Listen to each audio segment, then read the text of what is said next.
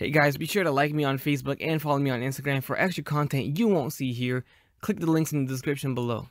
Hey, what's up guys? Erivera94 back again here with another action figure review. Today we are looking at the Hasbro Marvel Legends Ultimate Rider Series, the X-Men, Professor X, and Hover Chair. holding the box forward right now because I don't want the glare covering the figure, but this is how he's packed Then They split the Hover uh, chair in half. Uh, but this is your display of the figure. We also do get a 80 years symbol down here. I guess they're celebrating 80 years of Marvel. There's the side art. I know it's very hard to see, but it's just a picture of Professor X. And on the back of the box, we have uh, another picture of the figure, along with some close-ups. oh, and before we continue, I just want to let you guys know you guys can check out the link down below in the description, where you guys can uh, pre-order your own hover chair Professor X, and also the Deadpool on the scooter. So Hasbro has delivered our classic comic version of Charles Xavier and he comes with his buildable hover chair. It's essentially a build uh, a vehicle because you have to build it and put it together. Funny because I remember hearing some of the community members saying that uh, that was a good idea for a build a figure piece like they did with the Vulture wings uh, to do a a, uh, a, Professor X and then make the hover chair the build a figure or the build a vehicle. But sure enough, they went ahead and put it in the Rider series, which is pretty nice. I'll take that. So here is how it comes. We hit two pieces. You see it's hollowed out. You just connect it together. It's pretty simple. You just uh, slide in the pegs into the peg holes. There are multiple, but they all slide in perfectly. Very easy. There's no snap, but it's it's it's in there very well. And then from there we go on to the uh, the rest of the pieces here. So we get the the back cushioning that just slides in, and then that that snaps in there. And then we also have that big old peg hole down in the bottom of the seat and that is where the the cushioning for the bottom of the seat go. So let's see if I can get it in there. Yep so very easy so far. So there is that and then lastly we have uh, the the cover which is meant to cover his legs whenever he is sitting in there but that is once we get Charles inside in there. Now the bottom does have a peg too and that is for the effect piece which I do like a lot and this is how you stand the hover chair too so that gets connected there and that is how you can display your hover chair and now it looks like he is hovering and that is the effect for the most part it is just plastic uh, color it's not painted uh, we do get some paint here and uh, and that's it honestly that's that's about it it's nicely sculpted but uh, they could have gone the extra mile and and really, really detailed this thing, and it would have been amazing.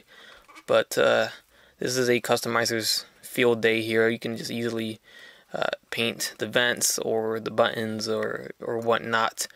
They painted that, which is cool. If they would have kept it going, it would have just been a nice touch. You know, it's it's a nice sculpt overall. It's a nice chair. But speaking of nice touches, this is a nice touch here. You can slide open the the side here and it unveils some control panels so this is cool at least they put some color in here and uh, that looks good and to sit Charles inside you just of course just put him in a sitting pose and he will sit just fine I'm gonna put his arms up real quick so I can get the cover in as well because right now you just see you can see his legs in there and the cover just it just lays over him it doesn't really peg into anything I actually do wish that the uh, the cover actually had somewhat of a peg. I don't think it, no, it doesn't peg into anything unless you put it on the side of the cushion. But I do wish it had that because it, it, it can still move around inside. The figure still is pretty loose in there. And then if you, well, from what I've noticed moving it around, the cover even, you know, moves forward and just doesn't look look good. I know you can't really tell. But but yeah, that's it. I mean, if, if there was a, a little peg, it would have been uh, easier to handle, but it's no big deal, honestly. And not only does Professor X come with the hover chair, he does come with his Cerebro helmet. So you can put this on his head, of course. There is a peg hole on the back because he comes with an effect for his power. It just gives a little effect like he's using his power, reading minds, and just seeing, you know, into people's heads. Uh, say what you want about this effect. It's uh, it's all right. At least they included it, and at least they made it removable. Definitely could have been better. I don't know, something about it just looks off. But they thought about it, right? Anyway, so this is not all he comes with. He does come with a random piece here, which is the head for our Shadow King, which should go onto a Kingpin body. So this means you're going to have to buy uh, two Kingpins or, you know, buy two sets of that wave to build two Kingpins. So that's mighty expensive, but um, if you want a Shadow King, you're going to have to do it. And this is quite the uh, the sculpt work in the paint. Looks nice. We got removable glasses, so these glasses aren't molded on. Uh, right there. So now there's the face without it. That looks looks great, honestly. So paint's nice, looks good. It just uh you're just gonna have to buy another kingpin or build another kingpin to apply it on and have a shadow king. So going back to the helmet, it fits on very good. It's actually a tight fit. So it takes a bit to get it in there, but once it's in, it is good to go. And it looks good. It's a, it's a good fit for the figure. And that has the effect. I, I don't know, I'm just not feeling this effect. I, I think I prefer it without it, so I'm going to take it off and have him without the effect piece. And then that's how he looks. Let's not cover his eye. There you go. And as for Charles, he is sporting the uh, suited body that almost everyone has. This is the Agent Coulson body. So this one's been used the most. The new one that came out is on Nick Fury. So it's a bigger mold. It's a taller mold. It's a slightly different one. Uh, but this is the one that dates back to Coulson. This one, uh, Tony Stark had it in that 10th anniversary pack. Agent Ross. And uh, I can't think of anybody else right now, but I know there was several others that had it. So anyways, he's going to have all of the same points of articulation which is good because this one's actually well articulated. I like the body mold. So the head's gonna swivel left and right. You can do all that. Look up, you can look down. Uh, get a slight head tilt, not too much. Uh, the arms are gonna move forward and back, in and out. We get bicep swivels, double jointed elbows, swivel at the wrist with a hinge. You can see how they molded the hands here. One is like this, and then the other one's just opened up. To the torso, we have the ab crunch, the waist swivel, legs are T-jointed, so they're going to move forward and back, in and out. We get the thigh swivels, double jointed knees, and then we get the ankle hinge with the ankle pivot, and then the ankle swivel. No, this one does not have a swivel. I think the Nick Fury one has a swivel, but this one does not. And we have our Professor X head sculpt here. Pretty good. We got the eyebrows, eyebrows on fleek. They're looking nice. And uh, it's a new sculpt, of course. We haven't gotten a Professor X by Hasbro, and I don't think ever. Guys, quote me on that. I don't know uh, if there was any Professor X from Hasbro. I don't think so. I think the last one we got was Toy Biz.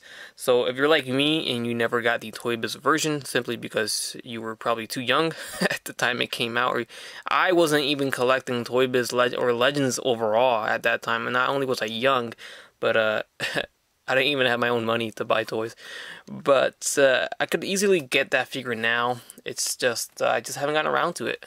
I should get it. Anyways, looks good though for Hasbro's first take on it, if it is, and I do like it. Alright, so first and foremost, I want to get them next to the X-Men family here. So first we'll throw in the Wolverine Tiger Stripe. Came in the Apocalypse Wave. Then this one was from the Juggernaut Wave, I think. I don't want to get... No, this was Warlock. Sorry. I already got it wrong. So, Cyclops was from Warlock. And then we have our Jean Grey from our Return of Marvel Legends series. I don't remember what build figure that one was. Might have been Rocket Raccoon, not sure. And then we have Rogue, slightly off screen. Let's get them all centered in here. But these look great together, of course uh, Professor X isn't supposed to be standing, but I want to get all of them standing next to each other just so we can get a sense of scale, which is something we're already expecting. We already know this body, this suited bodies, and there's nothing really different in terms of height, but just for the sake of the review, if Jean Grey would like to stand up, that'd be nice. One issue with this Jean Grey is that it's hard to stand up. Alright, so there they are next to each other. They look good. You gotta love X-Men, man. If, if there's a, a team in Marvel that is probably one of the best teams. I, would say X Men is definitely definitely up there. And here we have next to the Tony Stark from the 10th anniversary Marvel Studios two pack Walmart exclusive. It's the same body, just painted differently. Uh, so I like how not only have they re-released this body mold numerous times, giving us numerous opportunities to build any type of army that we want with suited bodies, but they have all made them slightly different. I like how they're all different colors. I like how Agent Ross was gray and then Tony is blue. Of course, Professor X is green. Uh, lots of different colors, and the Agent Coulson one was our traditional black. So we'll get him in here now, and this was actually the first time we got a suited body ever, and the community, the toy community went crazy when this came out. I remember that. Uh, just to get this three pack was insane. But there he is, and I also used that body on a Tony Stark that I, I just popped on the Tony Stark head right there. So it's the same Agent Coulson bodies. But here's your suits. Uh, I don't have Agent Ross right now. So, but it is the same body as uh, as all of these here. Alright, and here he is next to the Mezco X-Men Deadpool figure. There he is next to the massive Marvel Select Beast figure. Here we have the SH Figuarts Dragon Ball Z Vegeta, our NECA TMNT Leonardo, and in honor of the new Kratos figure coming out soon, here he is next to the NECA Kratos from God of War. And next to some of the other riders we got previously before, uh, our first line was actually, or our first wave I should say, was actually the uh, the Black Widow wave. She's a little dusty, but it was the motorcycle here. We still haven't seen a reuse of this motorcycle. I'm sure we will. Uh, but the Black Widow was first up. And then, of course, we had our Ghost Rider along with the Black Widow. And after that, shortly, we did get a Logan with the same motorcycle, so no difference there. Thank you guys for joining me on this review of the Ultimate Series Professor X. Hope you guys enjoyed the review. Be sure to check out some of my other reviews. I've been putting out uh, almost two reviews every day.